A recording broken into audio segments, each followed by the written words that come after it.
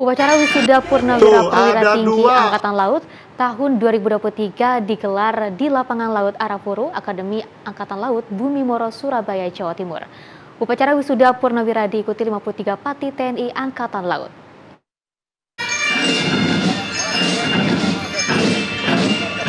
Kasal Laksamana Muhammad Ali memimpin upacara wisuda Purnawira atau WPW 53 Perwira Tinggi atau Pati Angkatan Laut tahun 2023 di Lapangan Laut Arafuru Akademi Angkatan Laut atau AAL Bumi Moro Surabaya Jawa Timur pada Selasa pagi. Para pati yang mengikuti acara wisuda Purnawira terdiri dari dua pati bintang 3 berpangkat Laksamana Madya TNI dan Legend TNI Marinir, 17 pati bintang 2 berpangkat Laksamana Muda, Majen TNI Marinir, dan 34 pati bintang 1 berpangkat Laksamana Prarama atau Brigjen TNI Marinir. Laksamana Muhammad Ali menyampaikan suatu kehormatan prajurit TNI Angkatan Laut sebagai generasi penerus dapat meneladani dan mewarisi nilai-nilai luhur yang telah diukur melalui pengabdian terbaik kepada negara tercinta. Para pendahulu akan selalu memberikan dukungan moral berupa sumbangsih, pemikiran yang positif demi kemajuan TNI Angkatan Laut. Upacara wisuda purnawira yang kita selenggarakan saat ini bukan hanya sekedar melestarikan tradisi semata,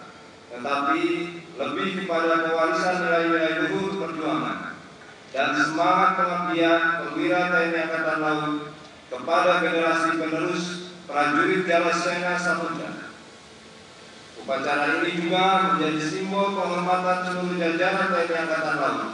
Wisuda Purna Perwira Pati TNI Angkatan Laut merupakan salah satu tradisi TNI Angkatan Laut yang melambangkan berakhirnya masa pengabdian seorang patu TNI Angkatan Laut. Upacara pati ini bersamaan dengan upacara peluncuran perwira remaja Angkatan ke-68 yang bersedia dilantik di Pendidikan Akademi TNI Angkatan Laut. Demikian di Torosito Goro TV melaporkan.